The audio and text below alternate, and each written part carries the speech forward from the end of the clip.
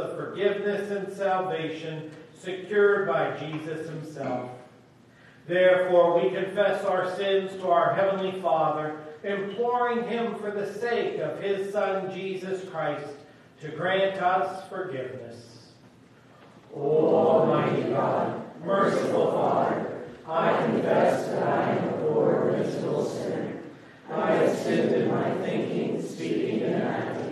I deserve your punishment now and eternally. In your boundless mercy, hear my sincere confession, and for the sake of your Son, giving himself over to suffering and death on my behalf, forgive me, be merciful to me, a poor, sinful being. Do you believe that the forgiveness I speak is not my forgiveness, but God's? Yes. Let it be done for you as you believe.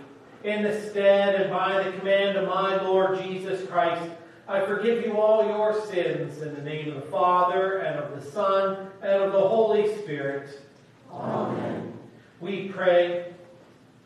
Lord, on this night we gave su- you gave such a blessed gift to the disciples and to us. Grant that we may so receive the sacred mystery of your body and blood, that the fruits of your redemption may continually be manifest in us. For you live and reign with the Father and the Holy Spirit, one God, now and forever. Amen. Please be seated.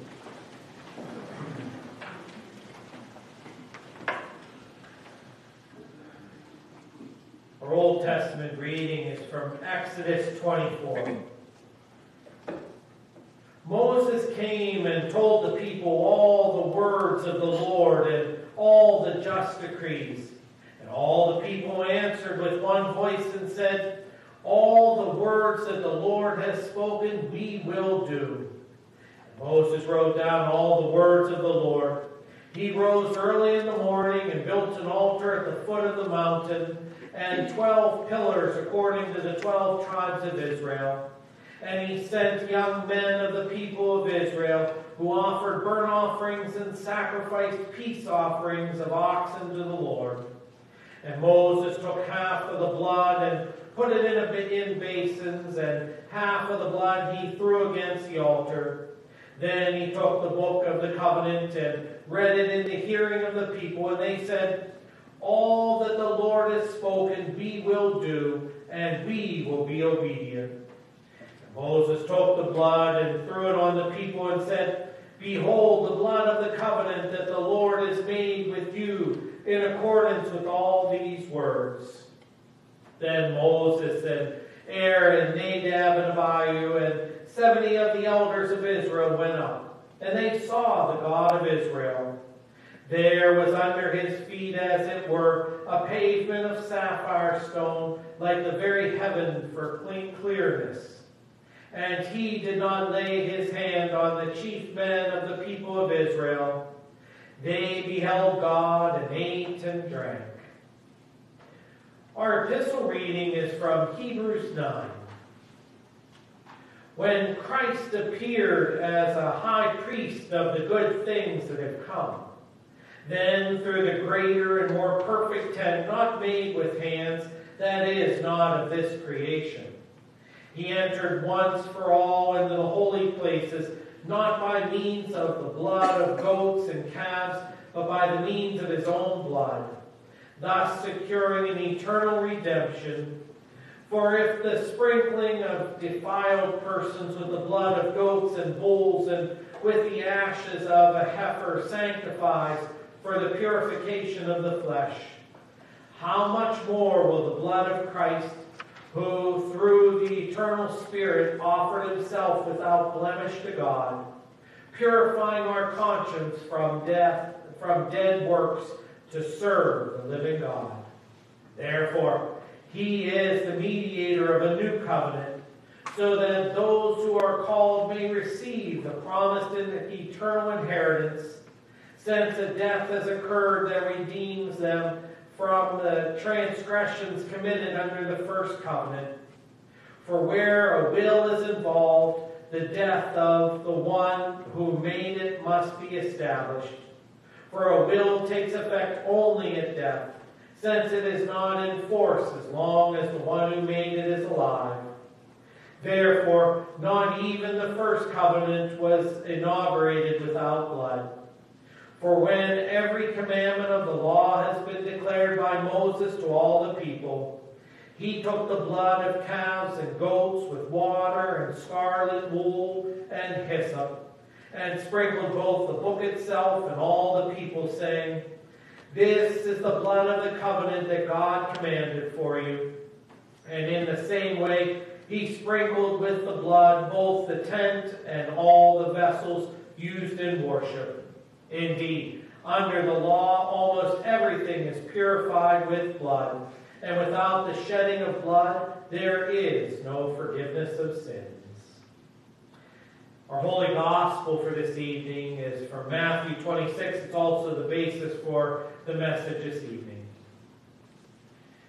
Now, on the first day of unleavened bread, the disciples came to Jesus saying, Where will you have us prepare for you to eat the Passover?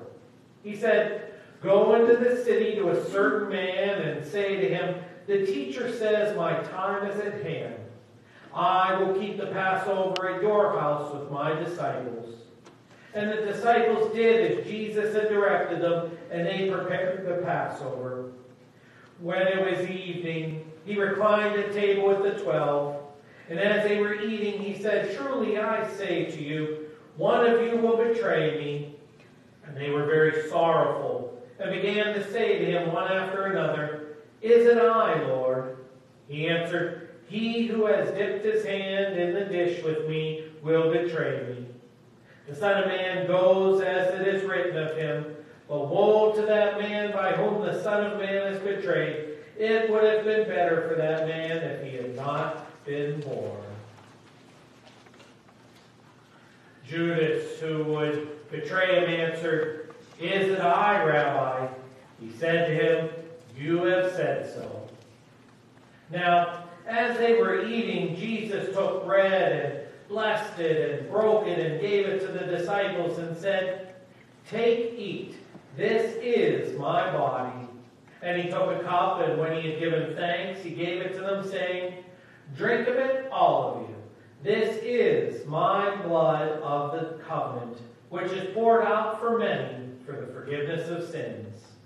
I tell you, I will not drink again of this fruit of the vine until that day when I drink it new with you in my Father's kingdom. And when they had sung a hymn, they went out to the Mount of Olives. These are the words of the Lord. Praise to you, O Christ. We join in our sermon hymn.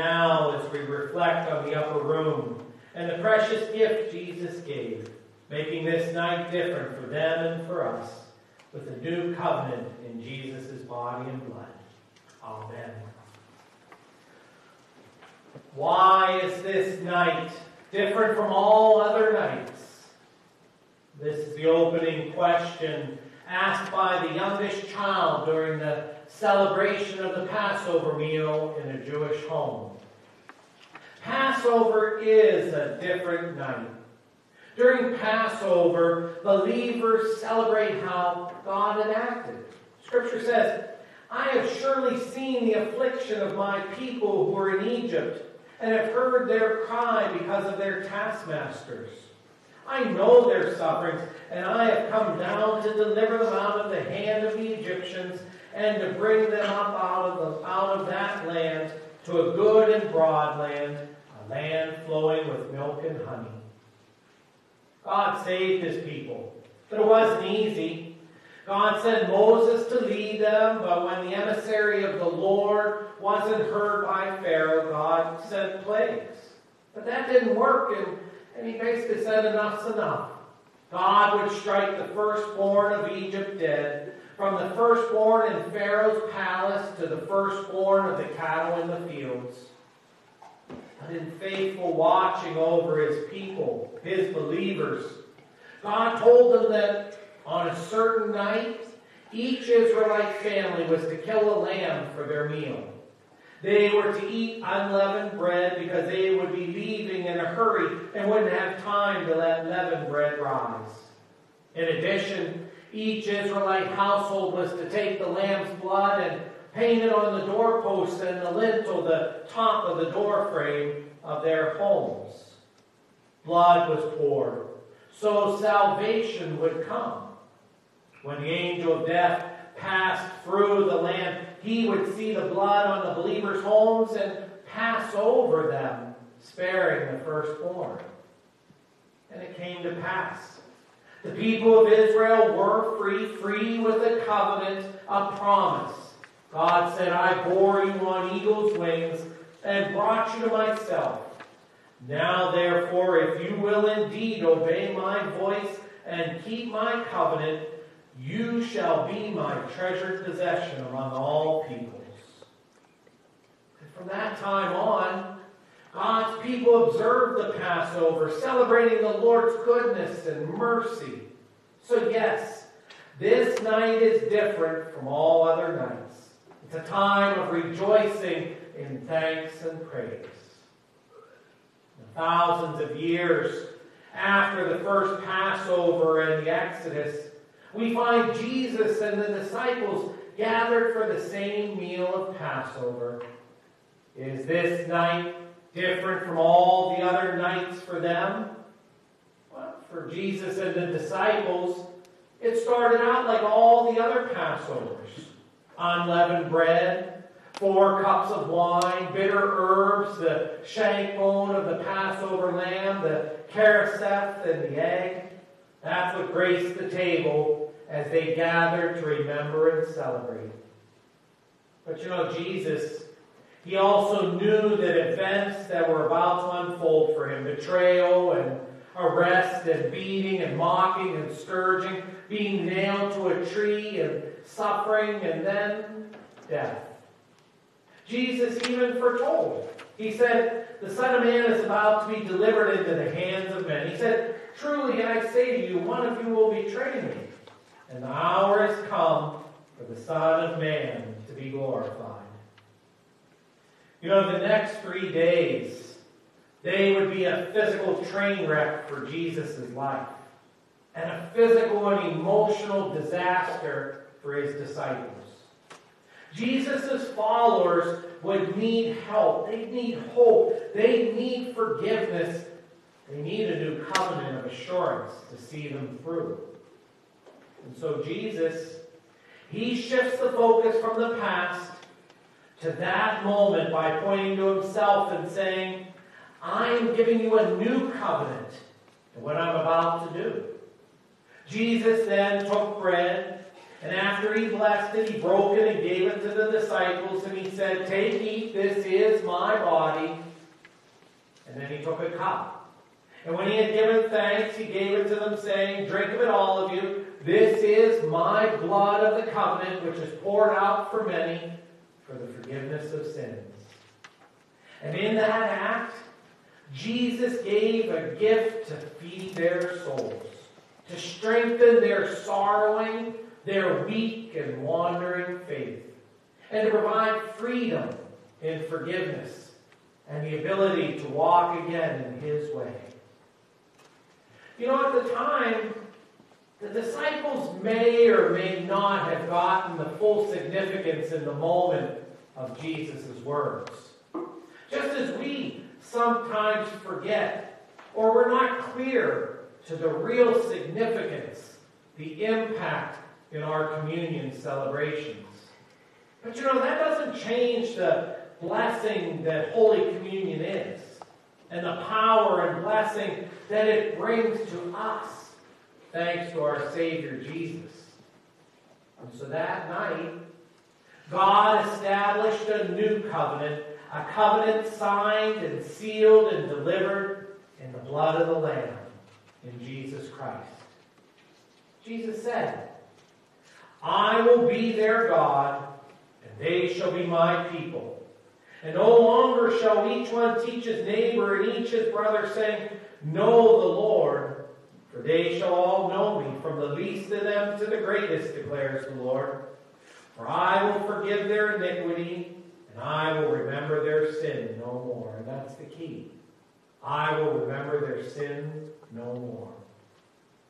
You know, whenever Jesus took the bread and broke it and passed it out, when he blessed the cup and handed it around, he was giving his disciples a sacred meal that would be shared in remembrance of him. At his command and in communion with him until the day that they would share it with him in all fullness in heaven. The disciples were truly blessed that night with a gift that would see them through the unfolding events of Holy Week and really throughout their lives and the ministries that they served, thanks to Jesus. It was for sure a night different from all other nights for them. And that brings me to you. Here we are. 2,000 years have passed since that first Maundy, Thursday with the Lord. We're gathered here in this place to watch Jesus journey to the cross. We are preparing to celebrate Holy Communion on the night that Jesus instituted it. And I ask you, is this night different from all other nights for you? True, you're not a Jewish family.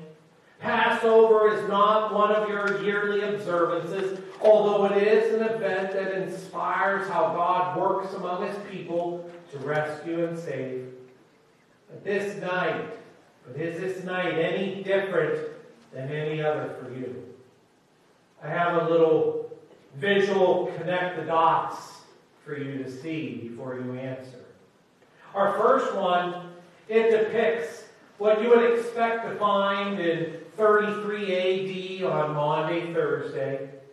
The dimly lit room, the disciples huddled around a low table, no chairs, but reclining at the table.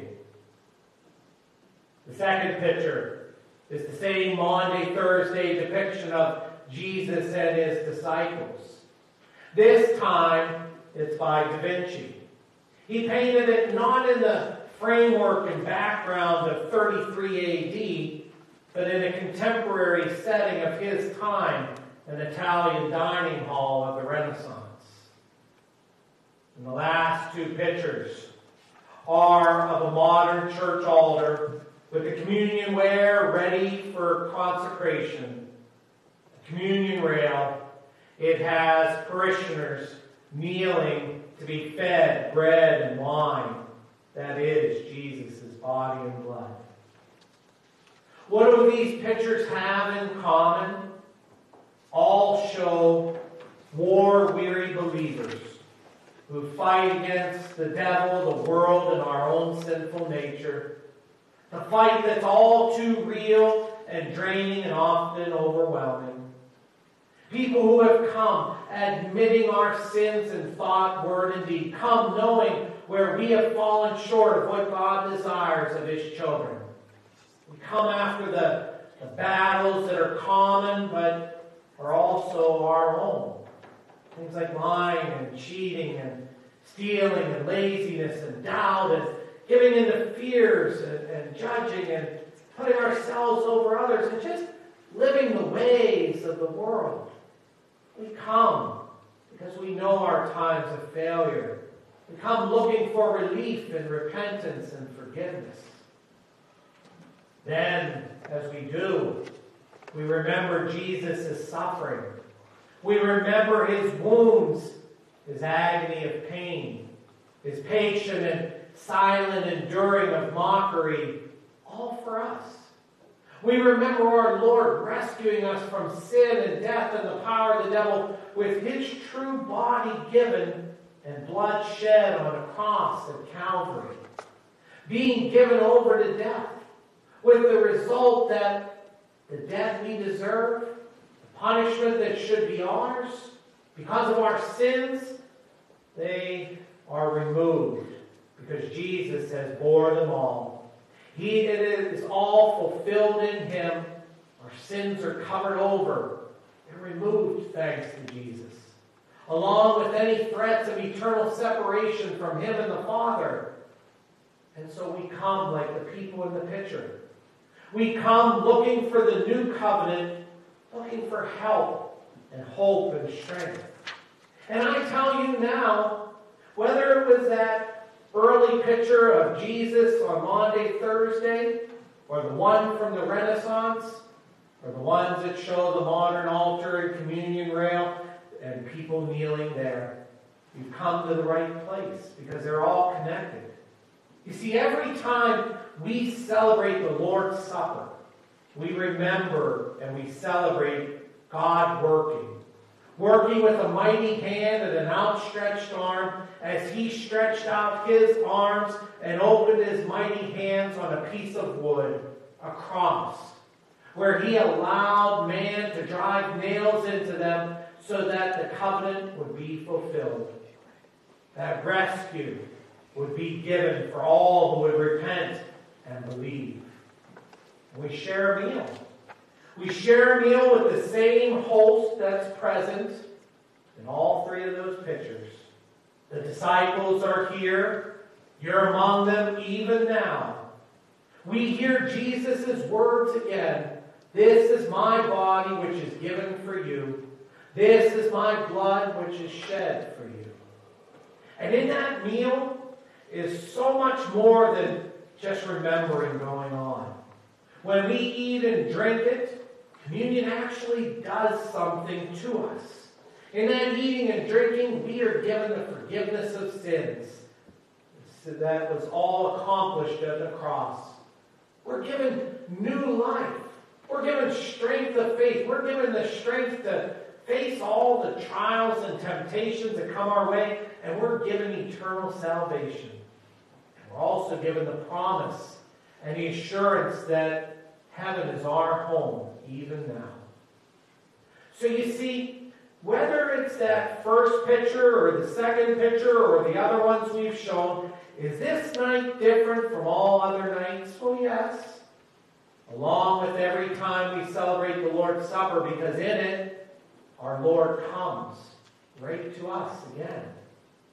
The new covenant, the new promises, the blessings that are now set before you, served by our Lord Himself for those to eat and to drink in faith. Those who trust His words, blessings do flow. So this night is definitely different from all other nights, thanks to Jesus. Amen. And may the peace of God, which passes all understanding, keep our hearts and our minds clinging to Christ Jesus. Amen. And at this time, the offering will be brought forward.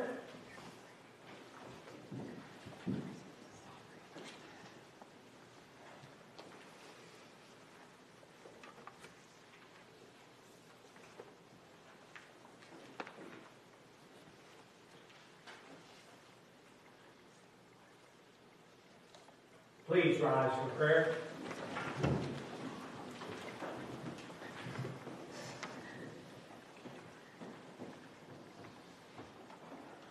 Father, as Jesus gathered his disciples in the upper room this night, we come to you in his name with the prayers on our hearts for ourselves and all people. We pray to the Lord. Lord, have mercy. Holy Spirit, work in us that we would treasure the promises of God made to his people in the past and us today. We pray to the Lord. Lord. Lord, in a world where confusion and fear seem to get the upper hand way too often, people are seeking hope. Give your church one voice, proclaiming the confidence, peace, and direction found in Jesus Christ alone. Cover all our sins with the blood of Christ, and may the Spirit work in us a new spirit that walks in your will and ways. We pray to the Lord. Lord, have mercy. Have mercy, Lord, and spare your people. As health concerns arise and when life draws to a close, be with the sick, comfort the fearful, grant to the dying and all the family and friends impacted in these times your courage and peace. Give healing according to your will and strength to bear in all things. We pray to the Lord. Lord, have mercy. Heavenly Father, this night Jesus instituted his supper to eat and to drink, a blessing for our good. In this meal, Jesus promised the blessings of the forgiveness of sins. And where there is forgiveness, life, strength of faith, strength to fight off all trials and temptations, and the gift of eternal life flow. Have mercy on us and bless us with these gifts. We pray to the Lord. You know, O Lord, what we need, and you have promised to hear our prayers and respond in your loving goodness. We lift up these prayers and all things that we should in Jesus' name, thanking you always. Amen.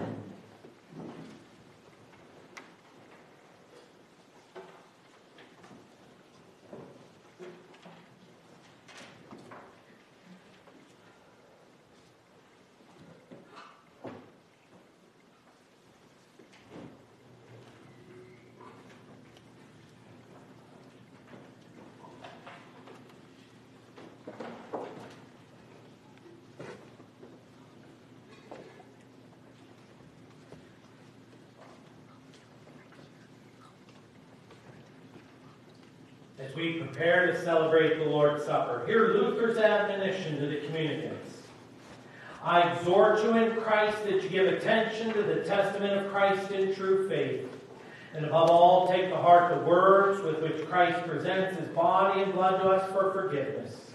That you take note and give thanks for the boundless love that he showed us when he saved us from the wrath of God, sin, death, and hell by his blood. And that you then externally receive the bread and wine that is his body and blood as a guarantee and pledge.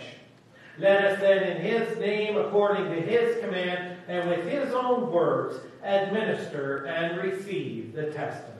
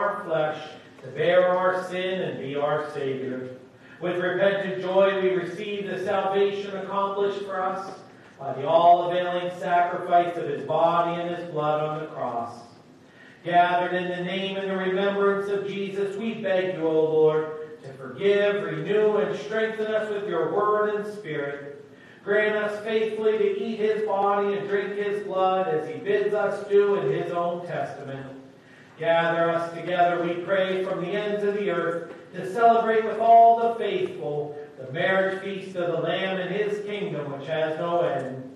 Graciously receive our prayers, deliver and preserve us.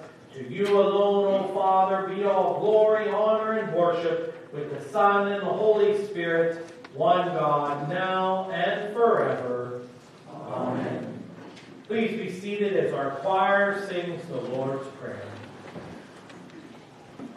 Thank you.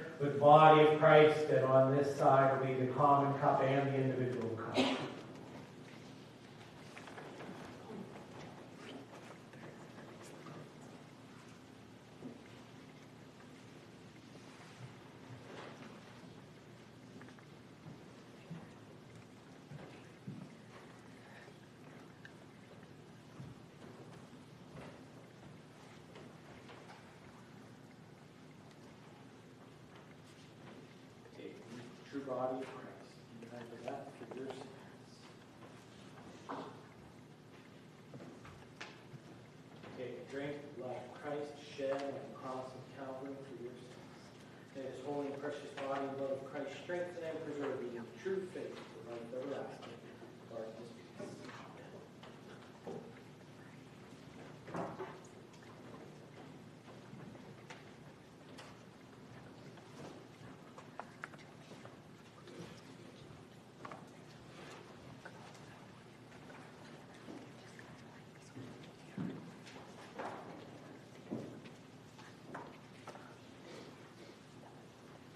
Take and eat the true body of Christ.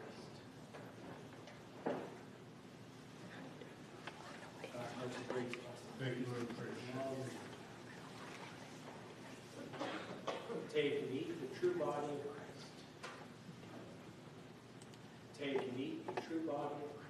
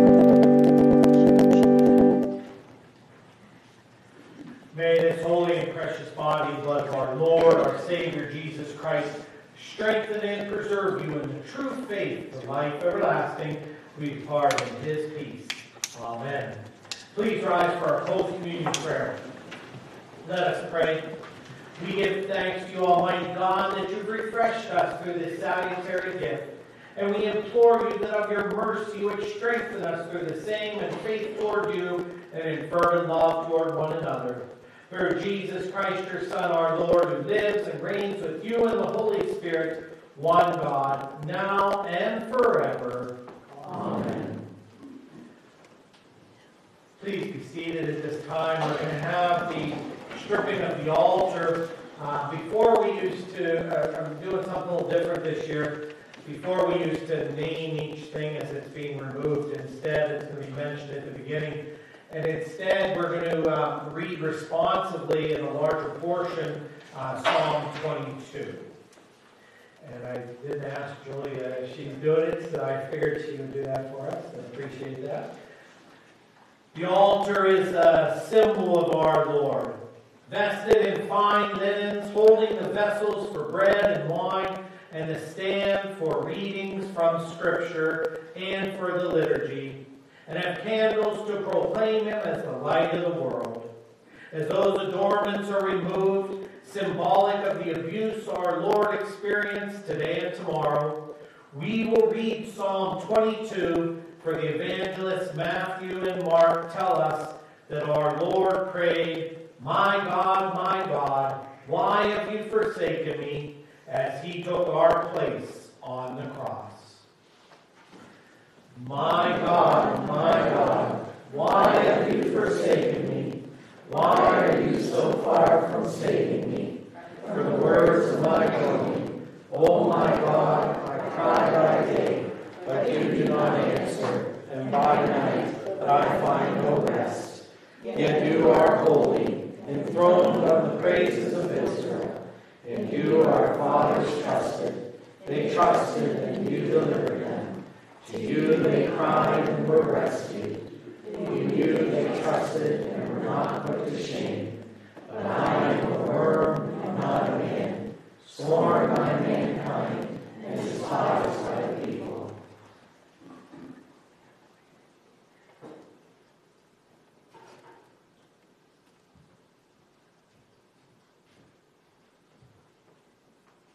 All who see me mock me. They make mouths at me. They wag their heads. He trusted in the Lord. Let him deliver him. Let him rescue him, for he delights in him. Yet you are he who took me from the womb. You made me trust you in my mother's breast. On you was I cast from my birth and from my mother's womb. You have been my God. Be not far from me, for trouble is near, and there is none to help. Many bulls encompass me, strong bulls of Bashan surround me. They open wide their mouths at me like a ravaging and roaring lion. I am poured out like water, and all my bones are out of joint. My heart is like wax it is melted within my breast. My strength is dried up like a potsherd, and my tongue sticks to my jaws. You lay me in the dust of death. For dogs encompass me, a company of evildoers encircles me. They have pierced my hands and feet. I can count all my bones. They stare and gloat over me. They divide my garments among them for my clothing they cast lots. But you, O Lord, do not be far off. O you, my help, come quickly to my aid. Deliver my soul from the sword, my precious life from the power of the dog. Save me from the mouth of the lion. You have rescued me from the horns of the wild oxen. I will tell of your name to my brothers. In the midst of the congregation, I will praise you. You who fear the Lord, praise him. All you offspring of Jacob, glorify him and stand in awe of him. All you offspring of Israel. For he has not despised or abhorred the affliction of the afflicted, and he has not hidden his face from him, but has heard when he cried to him, From, your, from you comes my praise in the great congregation. My vows I will perform before those who fear him. The afflicted shall eat and be satisfied. Those who seek him shall praise the Lord. May your hearts live forever. All the ends of the earth shall remember and turn to the Lord, and all families of the nations shall worship before you. The kingship belongs to the Lord, and he rules over the nations. All the prosperous of the earth eat and worship. Before him shall bow all who go down to the dust, even the one who cannot keep himself alive. Prosperity shall serve him. It shall be told of the Lord to the coming generations. They shall come and proclaim his righteousness to the people who have no horn, and that he has done it.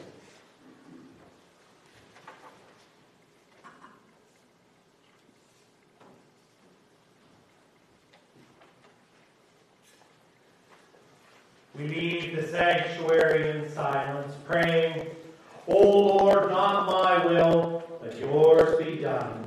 Amen. And remember that this is only scene one. The story isn't over. Join us tomorrow for scene two, Good Friday. We'll, we'll sing uh, hymns and hear readings of the Passion account. Go in the peace.